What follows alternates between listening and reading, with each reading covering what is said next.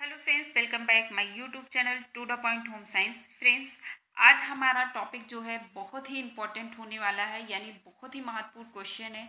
कोई भी ऐसा एग्ज़ाम नहीं होगा जिसमें ये क्वेश्चन पूछे नहीं गए हैं मतलब हर बार रिपीटेड क्वेश्चन है। तो उसी पे आज हम लोग चर्चा करने वाले हैं। आप लोग को पता चल गया होगा कि आज हम किस क्लास के टॉपिक पे बात करने वाले हैं। तो ये हमारे BA second year fourth semester का सिलेबस जो है होम साइंस है। क्या है? होम साइंस है। होम साइंस में आप लोग को पता है कि पेपर आप लोगों का जो है पेपर है आपका हाउसिंग एंड एक्सटेंशन एजुकेशन तो यहाँ पे आज हम जो बात करने वाले हैं ओके बात करने वाले आपके जो है हाउसिंग एंड एक्सटेंशन एजुकेशन में, यानी आवास एवं सतत शिक्षा जो आपका पेपर है, इसमें हम लोग जो बात करने वाले हैं, वो बात हमारा किसका होगा? तो वो वेरी इंपॉर्टेंट क्वेश्चन है। क्वेश्चन आपका क्या है? तो देखिए क्वेश्चन पूछा जाता है। संचार के अर्थ एवं परिभाषा बताइए। बहुत बार पूछा गया क्वेश्चन है ये। तो इसलिए मैंने इसको वेरी इंपॉर्टेंट क्वेश्चन के रूप में आप लोगों को दिया है कि ये वेरी इंपॉर्टेंट है। आपको बिल्कुल रट लेना है संचार। ठीक है? तो सबसे पहले हम लोग क्या देखेंगे? संचार का अर्थ एवं परिभाषा के जो है, परिभाषा हम लोग देखने वाले हैं। तो संचार की अगर हम लोग बात कर लें तो संचार ऐसी कोई आ, कोई नया शब्द नहीं है हमारे लिए कि संचार कोई नया शब्द है। जब से समाज या समाज का निर्माण हुआ या समाज के संचालन प्रक्रिया की बात की जाए, वहाँ से संचार प्रक्रिया शुरू हो जाती है। चाहे आपकी प्रसार शिक्षा हो, जब किसी हमें प्रसार, अगर हम लोग प्रसार शिक्षा की बात कर ले, प्रसार यानी एक्सटेंशन एजुकेशन की बात कर ले तो ये तो उस शिक्षा का यानी प्रसार शिक्षा का क्या है? एक अंग के रूप में संचार को माना जाता है। बिना संचार के इसको प्रसार शिक्षा या एक्सटेंशन एजुकेशन को चला पाना असंभव बात है ठीक है? तो संचार की जो ये है आदिकाल से ही मनुष्य विभिन्न मुद्राओं के माध्यम से क्या करते थे? संचार करते थे ठीक है? जब वो बोलना नहीं जानते थे तो अपने हाव भाव से अपनी भावनाओं को वो व्यक्त करते थे संचार करते थे ठीक है? लेकिन जैसे जैसे परिवर्तन होता गया वैसे वैसे संचार के जो आ, आ, रूप है वो चेंज होते गए। बात आप लोग समझ रहे होंगे कि जब लोग बोल नहीं पाते थे आदमानव तब भी वो अपने हाव भाव से संचार करते थे, एक दूसरे को इशारे में बात करते थे। धीरे धीरे जैसे जैसे हमारी सभ्यताओं का विकास होता गया, वो लोग बोलना चालना सीखे तो ऐसे आमने सामने तो सबसे पहले जो संचार होती थी, वो आमने सामने ही बैठ कर होती थी। फिर धीरे धीरे कैस, क्या होता गया जो है जितना ज़्यादा जो है डेवलपमेंट होता गया उतना ज़्यादा संचार की प्रक्रियाएँ बढ़ती गई। पहले फिर पत्र लिखना लोग शुरू कर दिए फिर फ़ोन आ गया फ़ोन करने लगे तो जैसे जैसे जनसंचार के माध्यम बढ़ते गए वैसे वैसे संचार के नए तरीके आ गए। जैसे कि आप लोगों ने आप सब इंस्टाग्राम चलाते होंगे तो इंस्टाग्राम में अभी एक वीडियो वायरल हो रही थी। आ, मैंने देखा था उसमें क्या था कि पहले तो लोग क्या कहते हैं, बातों से ताना मारा मारा करते थे। आजकल लोग क्या करते हैं स्टेटस पे स्टेटस लगा लेते हैं लोगों को ताना मारने के लिए। मतलब जो भी ऐसे था। तो वही चीज़ है कि ये तो सिर्फ़ एक मैंने एग्ज़ाम्पल दिया कि ये ताना मारने वाला तो एक एग्ज़ाम्पल है। तो जैसे जैसे तकनीक बढ़ती जा रही है, लोग पहले एक दूसरे को गाली देते थे। अभी जब दिल में कोई भरास होती है तो स्टेटस लगा दो यार, देखेंगे ही तो देखेंगे ना। तो ये सारी बातें आ जाती हैं। तो इस तरीके से संचार का जो है विकास होता गया। तो संचार आज का नहीं है। बहुत पहले से लोग आमने सामने करते थे, फिर पत्र लिख कर करते थे, फिर टेलीफोन जो है टेलीफोन से करने लगे, यानी फ़ोन आ गया, दूरदर्शन, रेडियो, इस तरीके से ये संचार माध्यम बढ़ता चला गया। ठीक है? तो आज बहुत सारे ऐसे माध्यम है जो संचार के जो माध्यम बने हैं। हालाँकि बाकी और आप लोग को आगे पेपर में देखने को मिलेगा। तो ये तो एक मैंने आपको जनरल बातें बताई हैं, किसके बारे में, संचार के बारे में तो आई होप आप संचार समझ गए होंगे क्या होती है। अब यहाँ पे हम लोग जो किताबी जो ज्ञान है, उसको देख लेते हैं। सबसे मेन हमारे लिए किताबी ही होता है। तो यहाँ पे जो है, आपका क्या लिखा है? संचार या संप्रेक्षण या संदेश वाहन। शब्द किसका कहाँ से उत्पन्न हुआ है तो ये लैटिन भाषा के कम्युनिकेशन से हुआ है। ठीक है, कहाँ से हुआ है तो संचार को इंग्लिश में हम लोग कम्युनिकेशन ही बोलते हैं तो कम्युनिकेशन शब्द से हुआ है। शब्द का हिंदी रूपांतरण है, जिसकी उत्पत्ति कहाँ से हुई तो लैटिन भाषा के जो शब्द है कम्यूज से हुई है। किससे? तो कम्यूज से हुई है, जिसका अर्थ होता है कॉमन यानी कि कॉमन का अर्थ क्या हो गया? समान बनाना, एक समान बनाना। ठीक है? कॉमन हम लोग कहते नहीं, ये तो कॉमन है यार, ये तो होता रहता है। तो कॉमन का मतलब ये हो गया टू टू मेक कॉमन यानी कि समान बनाना, समान कर देना, ठीक है? तो ये हो गया आपका क्या? कॉमन इसका अर्थ होता है और अर्थात विचार या तथ्य को कुछ व्यक्तियों में, ठीक है? क्या है? तो कुछ व्यक्तियों में समान बना देना, अतः संचार या संप्रेक्षण संवहन ठीक है? क्या आप संप्रेक्षण भी कह सकते हो, संचार को कम्युनिकेशन कह सकते हो, संप्रेक्षण संदेश वाहन, इन शब्दों में आप इसको जान सकते हो। इसका अर्थ होता है विचारों तथा सूचनाओं को एक व्यक्ति से दूसरे व्यक्ति तक तक पहुंचाना कि उन्हें ज्ञान के साथ समझ सके। ठीक है? क्या हो गया? कहने का मतलब क्या है कि संचार का मतलब होता है कि एक व्यक्ति से दूसरे व्यक्ति तक क्या करना अपनी सूचनाओं या अपने विचारों को व्यक्त करना या पहुंचाना होता है। ठीक है? उसके बाद अगर हम लोग आगे बात करेंगे। ओके? कहने का मतलब सिर्फ़ और सिर्फ़ इतना है। कि संचार क्या होता है? संचार दो व्यक्तियों के मध्य ऐसी जो होते हैं, ऐसा संबंध होता है या ऐसा संबंध या जो होता है, एक व्यक्ति दूसरे व्यक्ति के साथ क्या करते हैं? अपने विचारों, अपनी सूचनाएँ जो उनकी अभिव्यक्ति होती है, दूसरे व्यक्ति तक पहुंचाते हैं। ठीक? और पहुँचाने पे क्या होता है? वो ज्ञान, जान सके तथा समझ सके इस तरह संचार का जो एक जो ये होता है, एक ये द्विमार्गीय होते हैं। टू वे होते हैं, यानी कि दो रास्ते वाले होते हैं तो ये क्या होते हैं? द्विमार्गीय होते हैं, ओके? इसके बाद आप लोग देखेंगे, इसके लिए आवश्यक है कि यह संबंधित व्यक्ति तक इस अर्थ में पहुँच सके, जिस अर्थ में संदेश वाहन कर्ता ने उस विचारों को स्थानांतरित किया कहने का मतलब इतना है कि हम कोई विचार क्या कर रहे हैं, उसको दूसरे व्यक्ति तक पहुँचा रहे हैं। तो उसी के जो हो, ये दो मार्गीय होता है, कोई इसको कैसे लेता है? टू वे होने की वजह से कैसा होता है कि कोई इसको सही अर्थ में लेता है तो कोई दूसरे अर्थ में लेता है। देखिए, कई तरीके के जो हैं तत्व सामने आते हैं। बहुत सारे ऐसे वीडियोस होते हैं, बहुत सारे ऐसे न्यूज़ आते हैं जिसको लोग कुछ उसको गलत वे में ले जाते हैं तो कुछ सही मिले जाते हैं। अभी हमने आपको बताया कि ताना मारने का नया तरीका स्टेटस लगा लीजिए। आप कोई चीज़, आप कोई सुविचार लिखेंगे, लेकिन वही हर व्यक्ति देखेगा, उसको एक अच्छा सुविचार दिखेगा। लेकिन कोई जिसके लिए आपने लगाया, जब वो देखेगा तो उसको तुरंत लग जाएगा कि नहीं यार, इसने मेरे लिए लगाया। ठीक तो ये जो बातें होती हैं, यही होती है आपकी दो मार्गीय या टू वे ठीक, मैंने आपको जस्ट एक एग्ज़ाम्पल दिया है कि इस तरीके से होता है, एक ही बात को दो अर्थों में समझना, ठीक है?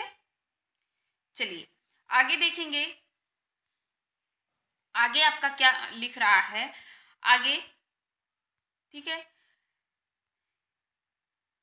आपका है, जिस रूप में यदि हमने कुछ बोला या लिखा है तथा पढ़ने से या सुनने वाले उसे प्राप्त करने पर उस अर्थ में नहीं लेता है तो उसका वास्तविक अर्थ ही, वास्तविक अर्थ है, तब इसे संचार नहीं कहा जा सकता है। ठीक है? तब ये संचार नहीं होगा। जब जिसको जो शब्द लिखा हुआ है, इन्होंने कहा कि जब हम कोई, किसी व्यक्ति से अपने विचार को अभिव्यक्ति कर रहे हैं तो वो व्यक्ति अगर उसको सही मायने में उस चीज़ को लिया तो वो संचार होगा। लेकिन अगर उसके उस नेगेटिव पॉइंट को उसने चूज़ किया तो वो संचार नहीं कहलाता। है। बस इतनी सी बात याद रखिएगा। आगे आप लोग देख सकते हैं। आगे आप लोग क्या देखेंगे?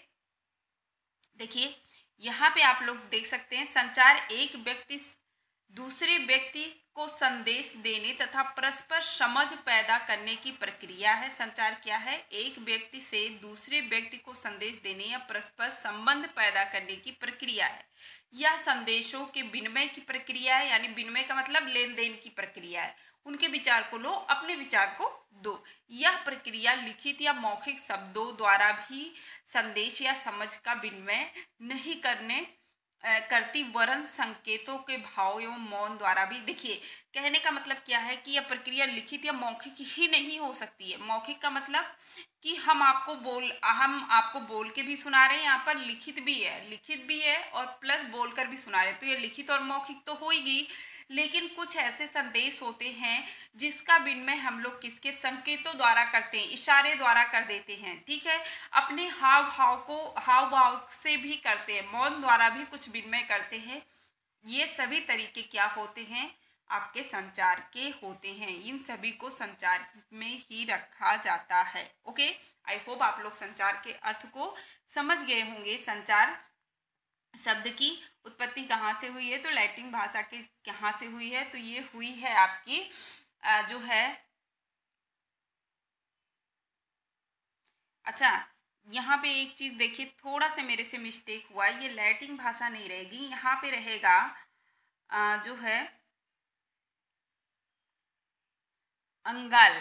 ठीक है, अंगल भाषा के कम्युनिकेशन जो है कम्युनिकेशन शब्द का हिंदी रूपांतरण है, जिसका लैटिन भाषा में, देखिए यहाँ पे होगा, जिसका लैटिन भाषा में कम्यूस से हुआ है। इस तरीके से आपको पढ़ना है, जिसका अर्थ क्या होता है कॉमन यानी कि विचार जो है टू मेक कॉमन यानी कि सभी के बीच एक सामान्य बनाना या कॉमन कर देना, ठीक है? ओके चलिए, अब इसके जो है हम लोग डिफिनीसन देखेंगे, जो कि आपके पेपर में बहुत ज़्यादा पूछा जाता है। तो इसको भी हमने कुछ कई जो है डिफिनीसन को हमने आपके लिए दिया है। अगर इतना भी आप लोग लिख देते हैं, जितना मैं आपको लिख के दे रही हूँ, जितना मैं बोल रही हूँ, इतना भी अगर आपको लिख दे रहे हैं तो आपको पूरे नंबर मिल जाएँगे, ठीक है? डिफिनीसन में सबसे पहले हम लोग देखेंगे चार्स ई क्या कहते हैं? रडर फोल्ड के अनुसार, ठीक है? किसके अनुसार? तो अच्छा ये यहाँ पे नाम ही जो हो गया, गलत हो गया। चार्ल्स ई, क्या है? Red fold. ई फोल्ड नहीं होगा, यहाँ पे पूरा गलत लिख दिया इसने। थोड़ा, जब ये जो है कभी कभी डिफ़ॉल्ट हो जाता है ना, ओके? तो यहाँ पे आप देख सकते हैं कि संचार संचार से तात्पर्य क्या है? संचार से तात्पर्य। ठीक है? संचार से तात्पर्य व्यापक क्षेत्र से, जिसके माध्यम से मानव तथ्य या राय का आदान प्रदान करता है। क्या है? तो संचार का तात्पर्य किससे होता है? एक व्यापक क्षेत्र से होता है, जिसके माध्यम से अब मानव क्या कर रहा है? अपने तथ्य या राय का आदान प्रदान करता है। ये किसने कहा है? चार्ल्स चार्ल्स रीड फ़ील्ड ने कहा है। ठीक है? रीड फ़ील्ड ने कहा है। ये आपका पहला डिफिनीसन होगा। दूसरे डिफिनीसन की अगर हम लोग बात करेंगे तो दूसरा डिफिनीसन किसने कहा है? तो दूसरा कहा है संचार संचार एक दूसरे के मध्य सूचना तथा समझदारी बनाए रखने की प्रक्रिया होती है। किसने कहा है? थियो हेमन ने कहा है। किसने? थियो हेमन ने कहा है। ओके? तो इनका कहने का मतलब क्या है? इनका कहने का मतलब है, संचार क्या है? तो संचार एक दूसरे के मत समझदारी बनाए रखने की एक प्रक्रिया होती है। देन नेक्स्ट डिफिनीसन अगर हम लोग देखेंगे तो ये किसका है? तो ये है आपका न्यू मैन तथा समर का। इन्होंने कहा है, संचार दो या दो से अधिक व्यक्तियों के बीच तथ्यों या विचारों विचारों, राय तथा भावनाओं का आदान प्रदान होता है। बहुत अच्छा डिफिनीसन है। इनका कहने का मतलब है कि संचार का अर्थ होता है, दो या दो से अधिक व्यक्ति क्या कर रहे हैं? दो या दो से अधिक व्यक्ति जो उनके बीच तथ्य है, यानी कोई जो अभी आप लोगों ने, देखिए मैं इंस्टाग्राम चलाती हूँ, सब चलाते हैं तो इंस्टाग्राम पे अभी हुआ था कि दो औरतें बात कर रहे होती हैं तो कहते हैं हाई स्पीड में डाटा क्रॉस क्या ट्रांसफ़र हो रहा है, ओके? तो ट्रांसफ़र होने का मतलब वही हुआ कि हम आपसे कह रहे हैं, हमारे, हमें कोई बात पता है, हम आपको कह रहे हैं, आप देन क्या करेंगे, किसी और से कहेंगे, वो किसी और से कहेंगे। तो ये जो प्रक्रिया होती है, यही होती है आपके संचार, मेन संचार यही होती है।